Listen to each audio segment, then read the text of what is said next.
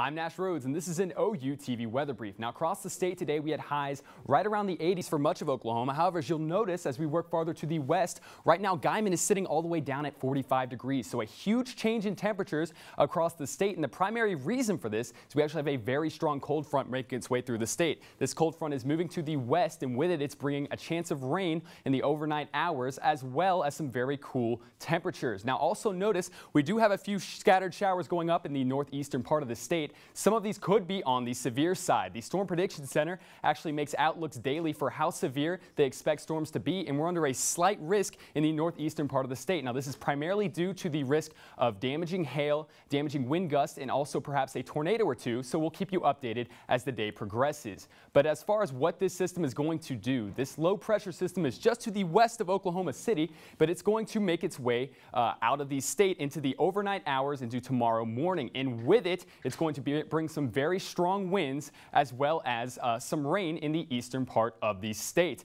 But the biggest change is going to be to our temperatures. We're all the way down into the upper 50s for the entire state as a high for tomorrow. So cool temperatures are on the way, but they are not here to stay. A quick look at the seven day forecast. We see that temperature drop and then they slowly rise on into the weekend where we'll have a chance of rain. This has been an OU TV weather brief. Good night.